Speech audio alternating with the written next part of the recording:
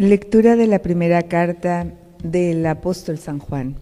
Queridos hermanos, les anunciamos lo que ya existía desde el principio, lo que hemos oído y hemos visto con nuestros propios ojos, lo que hemos contemplado y hemos tocado con nuestras propias manos. Nos referimos a aquel que es la palabra de la vida. Esta vida se ha hecho visible y nosotros la hemos visto y somos testigos de ella. Les anunciamos esta vida que es eterna y estaba con el Padre y se nos ha manifestado a nosotros.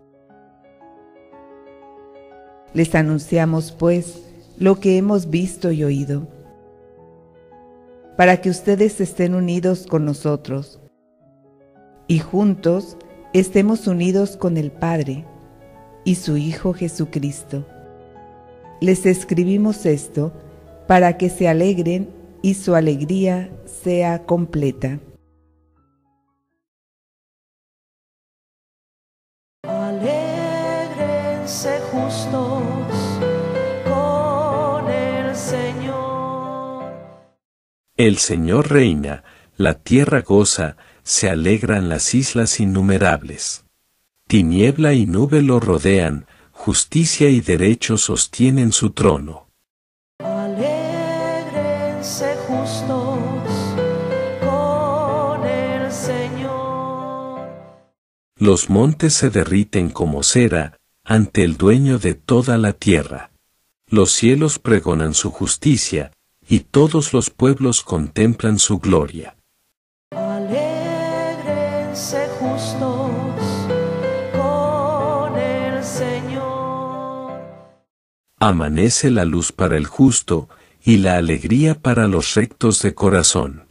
Alegraos justos con el Señor, celebrad su santo nombre. Alégrense justos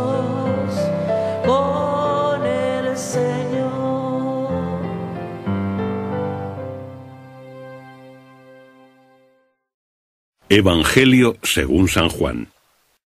El primer día de la semana, María Magdalena corrió y fue a donde estaba Simón Pedro y el otro discípulo a quien Jesús amaba. Y les dijo, Se han llevado al Señor del sepulcro. Y no sabemos dónde lo han puesto. Salieron Pedro y el otro discípulo y fueron hacia el sepulcro. Los dos corrían juntos, pero el otro discípulo corrió más a prisa que Pedro y llegó primero. E inclinándose para mirar adentro, vio las envolturas de lino puestas allí, pero no entró. Entonces llegó Simón Pedro tras él, y entró al sepulcro, y vio las vendas de lino puestas allí, y el lienzo que había estado sobre la cabeza de Jesús, no puesto con las vendas de lino, sino enrollado en un lugar aparte. También entró el otro discípulo, el que había llegado primero, y vio y creyó. Porque todavía no habían entendido la escritura de que Jesús debía resucitar de entre los muertos.